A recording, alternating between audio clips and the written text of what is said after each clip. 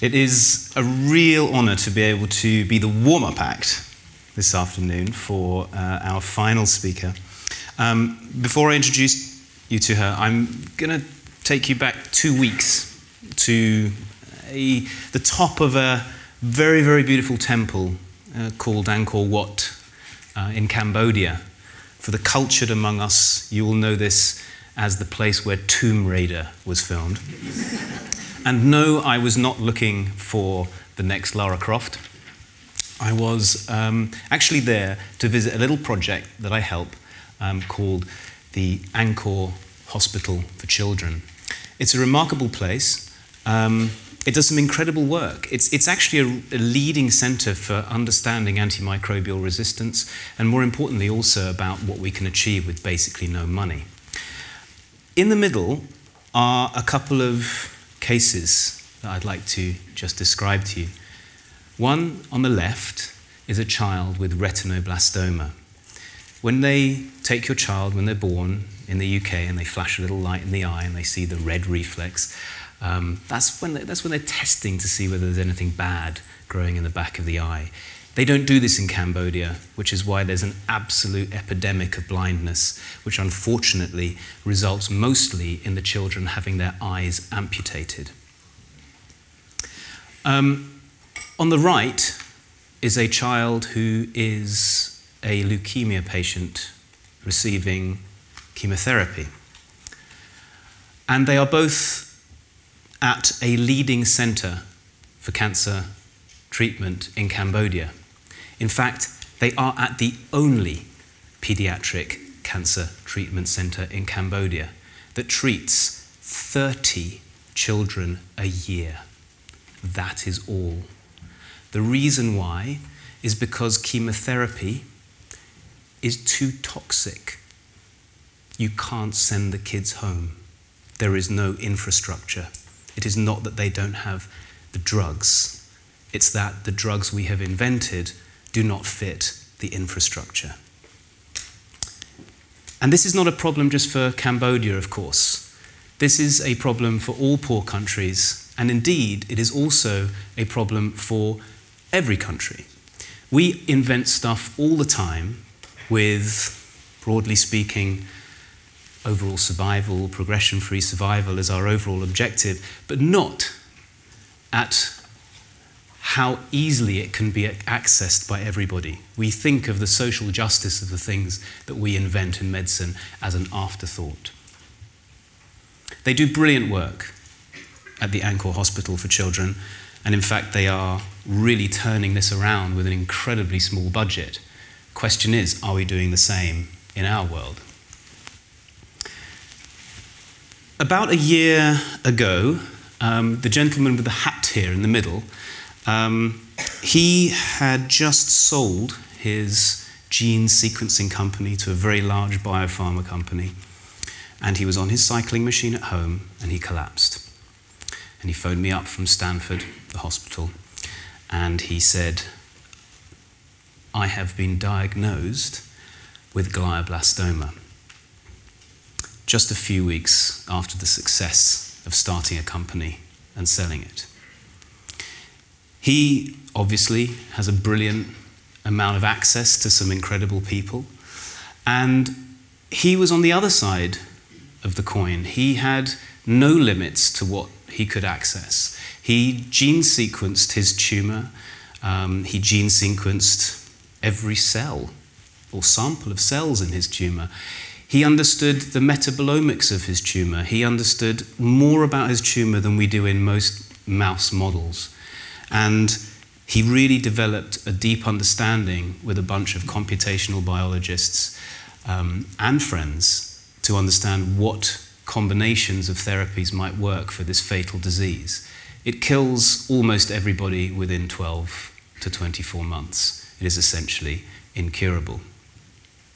He also sponsored Stanford to develop a pioneering new circulating tumor DNA assay, so everything that he was trying uh, could be monitored to see what the DNA burden was doing and whether anything that he was trying was, was working.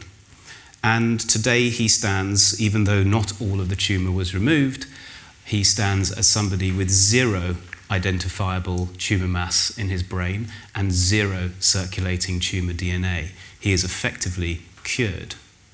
However, he is not the same as everybody. He represents the very, very future uh, of perhaps what we'll be looking at with combinations of immunotherapies, metabolic therapies, combination targeted therapies, multi epitope vaccines, a lot of the stuff that's being thought about and developed in the floors above us right now. A friend of his called me up um, a, few, a few months ago, about six months ago, and said, There's somebody who you might be able to help navigate as well, um, because she has also been diagnosed with glioblastoma. Um, for anyone that knows me, I'm, I'm not particularly good when it comes down to famous people outside of the world of science. So when I came to meet this uh, lady just around the corner from my home, I went home afterwards and I said to my wife, Marge, um, I think this lady's actually quite famous. And uh, she said, Who is it? And I said, Well, uh, her name's Tessa Jowell. Of course, she's famous. She's the person who, who, who, raised the money for the Olympics and has done a great deal in politics. So I felt like a bit of a goon because I didn't even know if she was Labour or Tory. I'm not sure whether I actually said that when I met her, but uh, fortunately, um, we, we, we, we started, help, started to help her look at the options that were available. And what was incredibly striking to me um, and this is a picture here of her, Jess, her daughter, uh, and her granddaughter here, um, uh. Um, what, we, what, what really struck me about Tessa was that despite her having the same kind of access as my friend in, in Silicon Valley, the only thing that she was interested in is closing that gap between the people who have access and have money and have the ability to go beyond standard of care and those who don't irrespective of wherever they are in the world, the UK and beyond.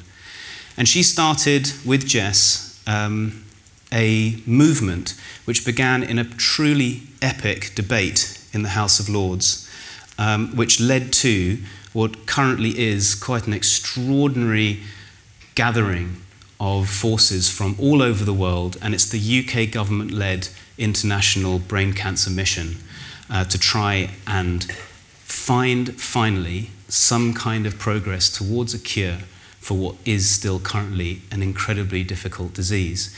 But not only to find those cures for the billionaires, but actually make that accessible to the billions. It's called ACT.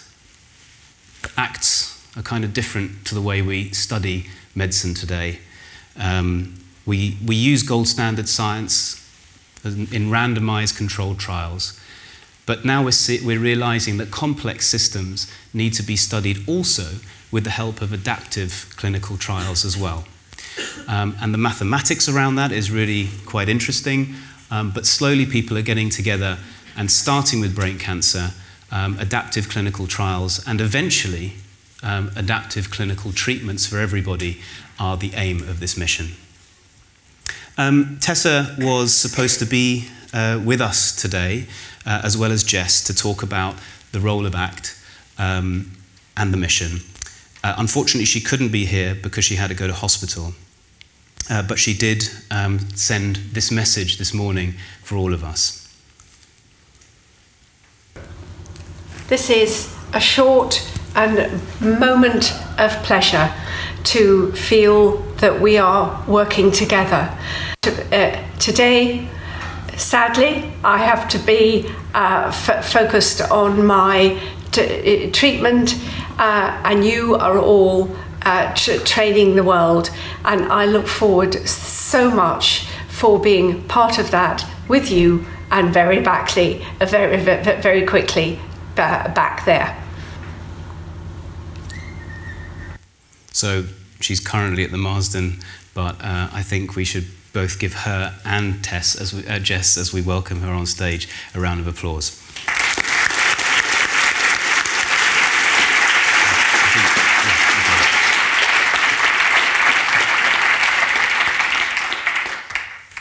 Good afternoon, everyone. Um, thank you so much for welcoming me to speak today. My name is Jess Mills. I am co-founder of ACT. and daughter of Tessa Jowell. My mum is one of the most fearless, courageous, change-making women of her generation. And on the 24th of May last year was rushed to hospital after suffering two major seizures and was subsequently diagnosed with a grade 4 glioblastoma in the left temporal lobe of her brain. Nothing can prepare a patient or a family for a diagnosis like glioblastoma. Even for a family of staunch optimists like my own, when presented with a median prognosis of 14 months and a standard of care which offers no hope for longer term survival or quality of life, we were cast off into a landscape that felt impossibly dark and utterly hopeless. The adjustment to the new reality for families is nothing short of devastating. And in the face of such hopelessness, it's very easy just to become catatonic, totally disorientated by grief, and a disbelief that this could happen to the person most central to your universe. However, what we didn't know at this point was that we were already at the, at the lucky end of an awful spectrum. As the news of mum's diagnosis became known to friends and colleagues, suddenly we found ourselves under the guidance and advice of some of the leading global ex experts in neuro-oncology and medical innovation, many of whom make up the incredible Eliminate Cancer Initiative, and also a certain Dr. Jack Kreindler. I will never forget the first meeting we had with Jack, and he said, I know this feels hopeless, but I promise you, a glioblastoma diagno diagnosis now is not even what it was two years ago. There's so much more that we know and so much more that can be done. And in one moment, it felt like that low ceiling was removed. And in the coming days, a galaxy of other options was revealed to us. In order to pursue many of these options, having tumour sample was essential. Every tumour is uniquely different, and understanding the key drivers of the tumour soon after diagnosis allows a more targeted, precise, and effective approach when considering potential treatments from the beginning. So much of what we've been able to do for my mum since then has been because her tumour was flash frozen post surgery, and not because it was a compulsory part of the protocol, but but purely by chance because she had an excellent surgeon. It's nothing short of a tragedy that patients and families could miss out on this opportunity to extend both survival and improve quality of life, essentially because of an administrative oversight. So, on a very practical level, we have already urged the government and NHS for there to be immediate change to the protocol to mean that all patients' tumours are flash frozen post surgery. This is not only essential with regards to enabling gene sequencing and consequently accessing more personalised treatments, but also key to enabling deeper and broader research. We are delighted to say that this, being, this is being actively implemented as we speak for glioblastoma, but should also be implemented for all forms of complex cancer. Once we knew mum's genomic data, everything from nutraceuticals to repurposed medications to off-label cancer drugs could be recommended, many of which, when used in combination, have shown evidence of patients hugely, outliving their prognosis and with good quality of life. Of course, the NHS operates as it has to, within narrow financial limits and within a strict ethical framework. But the fact is, if you look outside those limits, all sorts of innovative, sophisticated treatments are being pioneered and used with promising success.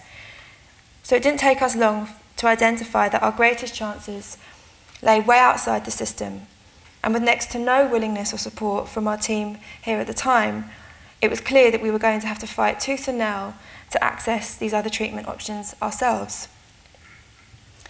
The daily reality of this is a surreal one.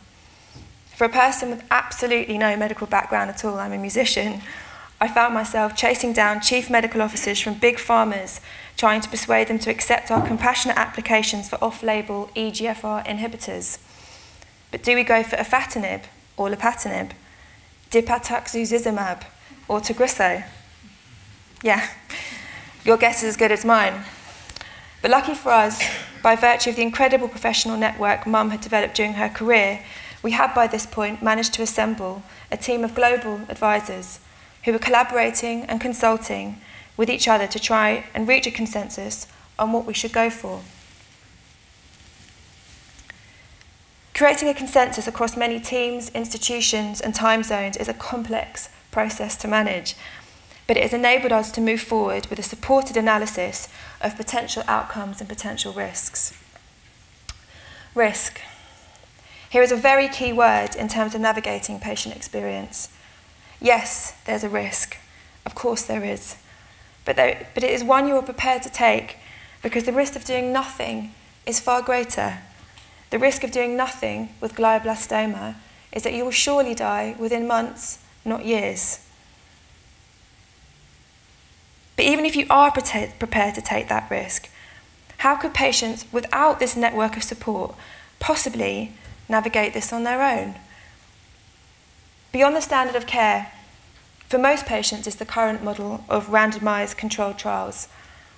And the broad focus being on the advancement of science means that we are forgetting about the most important thing of all, which is access.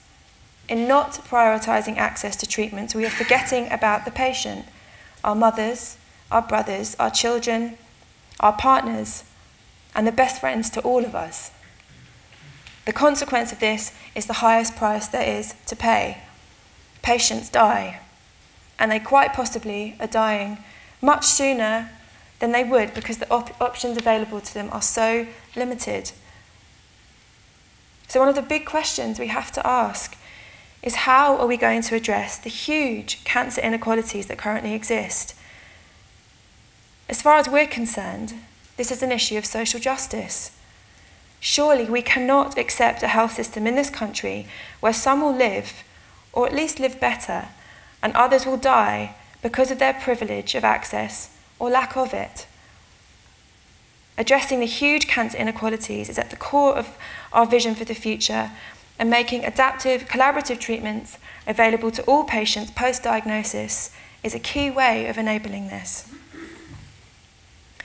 But no matter how excellent your consultants are, Getting better outcomes is directly correlated to a patient or family's ability to stay on top of the multifarious practical things that need to be managed in the patient's best interests, and your ability to turn advice into action. In jargon terms, this is the role of the patient advocate. It's a funny term, patient advocate. It sounds so formal, so professional, when actually it's anything but.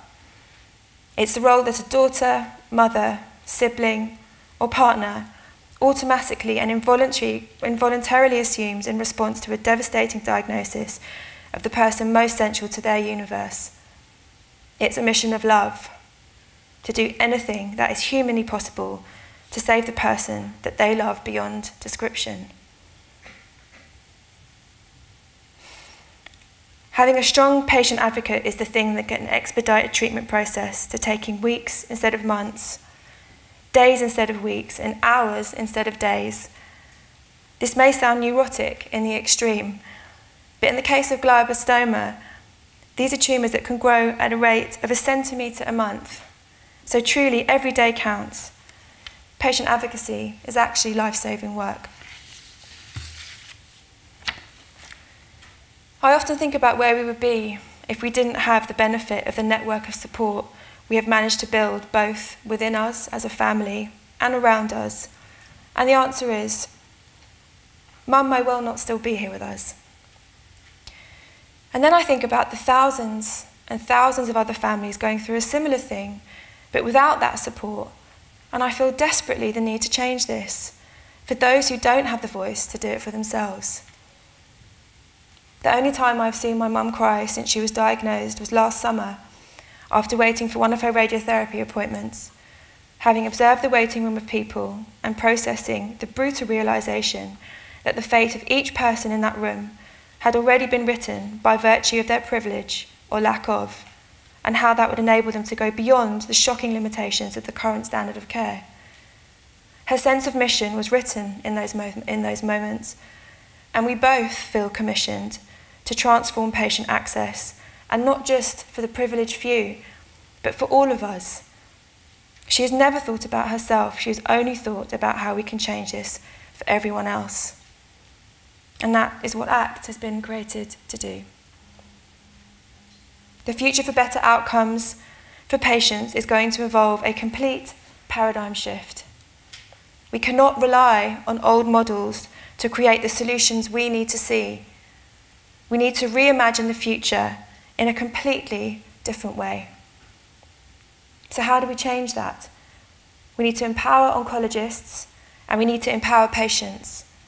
We need to completely reimagine the future to see a context where adaptive, collaborative treatments or acts are available to everyone, irrespective of access or income, so that no stone is left unturned for the patient and for families. The policy and systems both need to be in place to make acts a reality, but that's what we're here to do. And this is not just for glioblastoma, this will be for all forms of complex cancer. With one in two of us now likely to face a diagnosis of cancer in their lifetimes, this is a mission that should bind us all together with a collective sense of purpose. Better, longer lives with cancer for all of us. Thank you.